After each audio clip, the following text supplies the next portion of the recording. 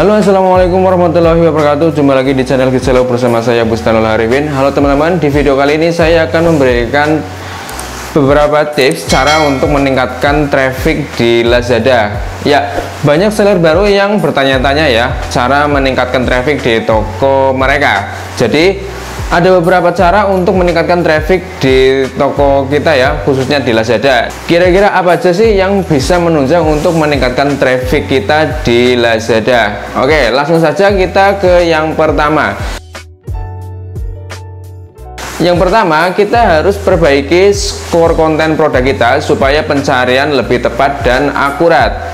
Nah Kenapa kita harus memperbaiki skor konten produk? Karena supaya di sini tuh ada namanya skor konten produk nih, supaya sempurna. Jadi kalian harus ketika upload pertama kali kalian harus melengkapi beberapa informasi dasar, spesifikasi, varian, deskripsi, dan pengiriman atau gak dan garansi. Nah, ini kalian ini nanti harus terisi semua uh, terisi semua supaya skor konten produk kalian itu sempurna.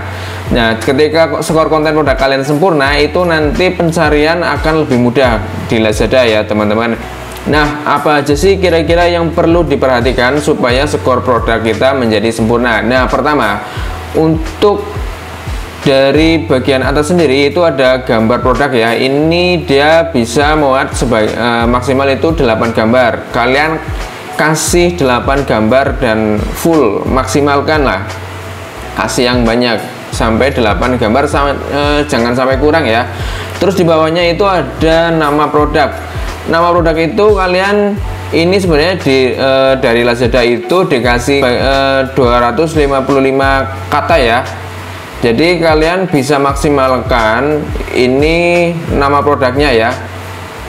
Terus di bawahnya lagi ada kategori. Nah kategori juga kalian harus isi sesuaikan dengan produk kalian. Jangan sampai salah kategori karena nanti pencariannya akan melenceng dari produk kalian di bawahnya itu ada URL video.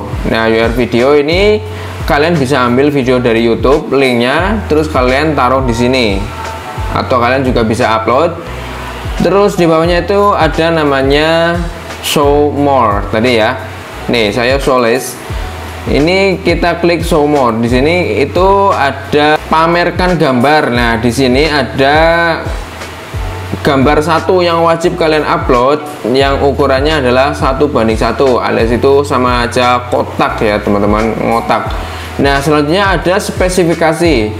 Spesifikasi ini juga kalian harus isi semua sesuai dengan produk kalian. Nah ini harus isi semua ya. Teman-teman jangan sampai ada yang kosong.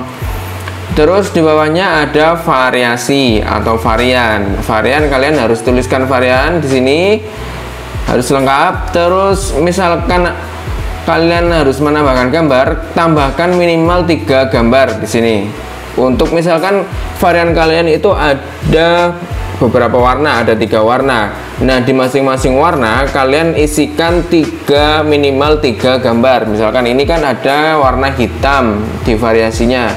Di sini kan ada slot gambarnya. Nah kalian di sini minimal itu kalian harus isi minimal tiga gambar ya supaya skor konten produk kalian itu sempurna. Oke setelah varian di bawahnya ada deskripsi ini teman-teman. Deskripsi.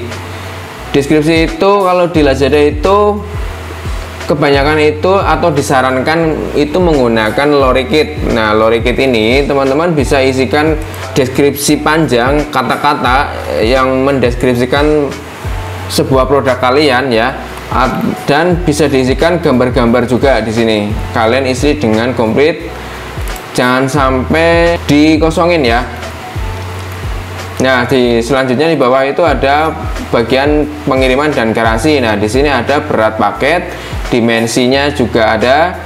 Nah, kalian kalau ini sudah terisi semua, kalian nanti di sini skornya akan sempurna.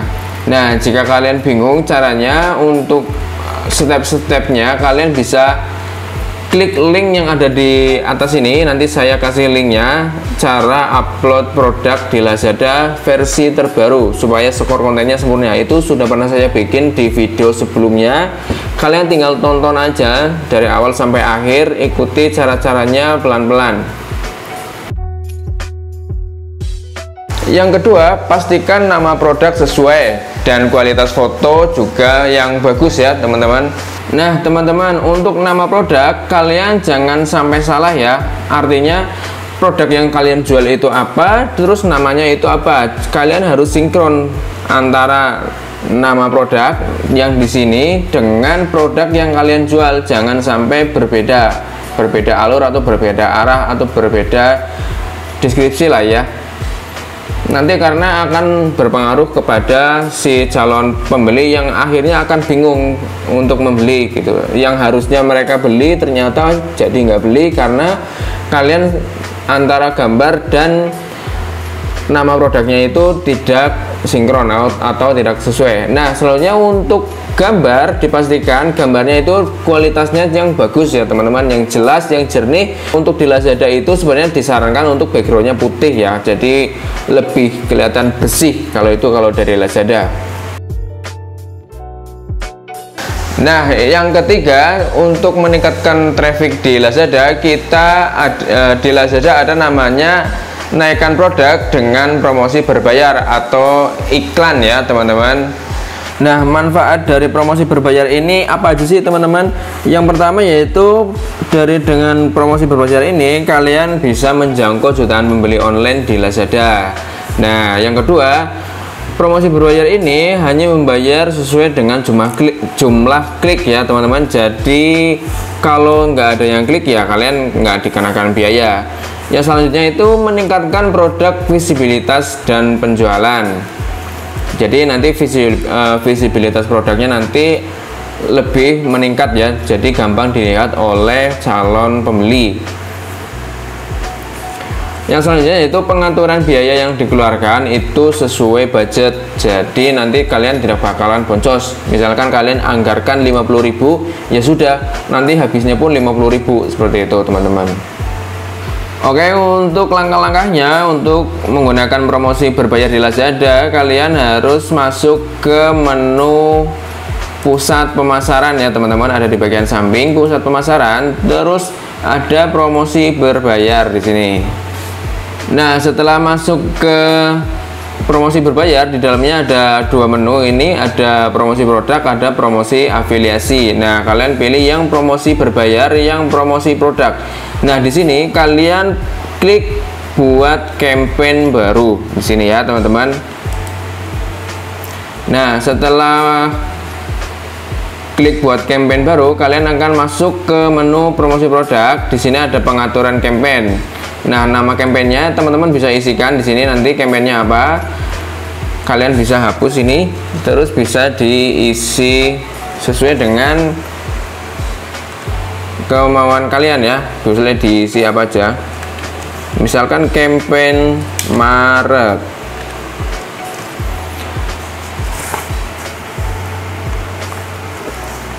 Nah, terus di bawahnya ada objektif campaign. Nah, di sini teman-teman bisa milih antara eh, teman-teman uh, kan ini mau iklan ya sebenarnya mau iklan arah dari hasil dari iklannya itu teman-teman mau arahkan untuk menjadi sebuah traffic atau untuk mengkonversi menjadi penjualan seperti itu. Jadi teman-teman pilih salah satu ya. Kalau teman-teman tujuannya untuk meningkatkan traffic kan teman-teman harus pilih yang menu traffic.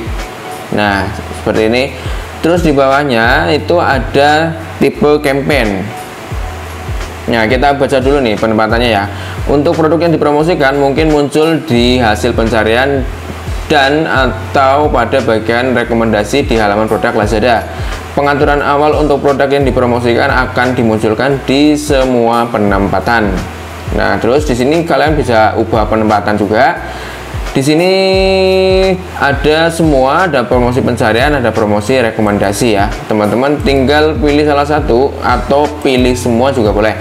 Nah, di bawahnya untuk tipe campaign, teman-teman bisa pilih otomatis atau pilih manual. Bedanya apa? Kalau yang otomatis, teman-teman itu nanti uh, secara sistem itu otomatis Lazada yang atur nih teman-teman dari uh, biaya kliknya dari jumlah kliknya seperti itu seperti penempatannya harga tawar dan lain-lain itu nanti Lazada yang menentukan dari sistem Lazada. Tapi tetap kalian tetap budgetnya itu teranggar ya teman-teman. Bukan berarti tidak teranggar. Misal kalian menganggarkan 50.000 ya nanti habisnya ya 50.000 nah yang kedua ada manual. Nah yang manual itu kalian bisa atur sendiri sesuai dengan keinginan kalian. Kita ke bawah. Di bawah itu kita ada budget harian. Nah di sini kita tinggal klik. Tinggal kita kir, uh, tulis ya di sini ya untuk budgetnya ya. Di sini ada dua pilihan sih sebenarnya. Ada tanpa limit dan kalian bisa atur limit. Misalkan limitnya kita atur 50.000 nah tanggal mulainya di bawah tanggal berapa? Misalkan tanggal di tanggal 9 lah. Uh, tanggal 10 nah terus di bawahnya kalian bisa atur tanggal akhirnya juga. Ini opsional tapi bisa diisi bisa enggak. Misalkan saya isi berakhir di tanggal 11 oke setelah itu kalian bisa klik lanjut. Nah setelah klik lanjut kalian bisa pilih produk yang mau kalian naikkan trafficnya. Kita pilih produk. Jika sudah kalian bisa klik konfirmasi di sini. Terus di belakangnya itu ada harga tawar. Nah harga tawarnya itu 210 nih. Teman-teman itu bisa naikkan ya bisa naikkan harga tawarnya juga. Misalkan kita naikkan 300 seperti itu. Nah paling kecil itu eh, harga tawarnya itu 150 ya teman-teman. Itu paling kecil. Atau mau misalnya mau dikurangi 150 aja juga bisa. Nah nanti itu tinggal teman-teman sesuaikan dengan kebutuhan kalian. Untuk standarnya itu 210 ini standar yang direkomendasikan oleh Lazada. Kemudian kita klik lanjut nah ini pengaturan produk yang dipromosikan ya teman-teman nyalakan peningkatan kreatif otomatis biarkan Lazada untuk otomatis mengoptimalkan kreatif nah ini klik otomatis otomatis saja Terus kata kunci dan harga tawar, teman-teman bisa klik otomatis dan bisa juga klik manual. Kalau manual berarti kalian harus nyari sendiri kata kuncinya. Nah, di bawah ini ada pemilihan kata kunci ini, teman-teman. Nah, kalian bisa mau hapus atau mau bisa pakai salah satu aja. Eh, enggak salah satu, kalian pilih aja yang menurut kalian itu trafficnya bagus lah. Misalkan ini kan baggy pants volume pencariannya itu 10.000 terus harga tawarnya 300 nah nanti kalian cari aja di sini yang sesuai dengan produk kalian jangan sampai yang yang terlalu jauh lah misalkan tahun perempuan kayak gini kan nggak efektif nih nggak relevan. Kalian jangan pakai kalau gini kalian hapus saja. Gitu teman-teman. Ini saya pakai pakai otomatis saja supaya lebih cepat tutorialnya. Lanjut. Nah kemudian kita kirim Nah, sebenarnya ini udah jadi nih, teman-teman. Nah, supaya iklan kalian bisa berjalan, kalian harus top up saldonya dulu nih, teman-teman. Nah, top upnya ada di bagian sini nih. Promosi berbayar, terus di sini ada top up. Kita klik. Nah, top up ini ada dua pilihan juga nih teman-teman top up ada top up otomatis ada top up manual nah yang lebih gampang itu sebenarnya top up manual aja nih nah di sini top up manual itu kalian bisa nominalnya 50.000 ada 100.000 ada 500.000 ada 1 juta nih teman-teman. Nah bedanya apa dengan top up otomatis? Kalau top up otomatis ini di kalau top up otomatis ini diaktifkan teman-teman nanti dia akan otomatis ngambil dari saldo uh, penjualan ya teman-teman. Nah kita pilih yang manual aja supaya lebih leluasa ya teman-teman. Jadi nantinya kalian tidak boncos. Terus kita klik misalkan kita klik yang 50.000 nah kemudian kalian bisa pilih metode pembayarannya. Bisa lewat pendapatan toko kalau misalkan kalian ada saldonya bisa juga dengan metode pembayaran melalui BCA nah nanti tinggal diikutin aja klik klik klik klik tinggal bayar pakai virtual account atau pakai saldo toko juga bisa